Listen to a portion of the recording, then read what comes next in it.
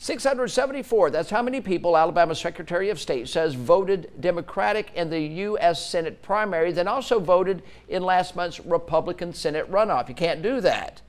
John Merrill says this is a violation of the state's new crossover voting ban, and now these names of Alabama voters who cross party lines will be given to prosecutors.